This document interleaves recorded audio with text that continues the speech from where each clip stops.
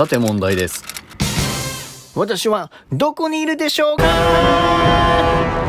ですここここ島の道から見えなくなるよ本日も日中天気が良かったので美しい九十九島を撮影してきました。ぜひゆっくりまったり最後までご覧いただけたらと思います。いつもご視聴ありがとうございます。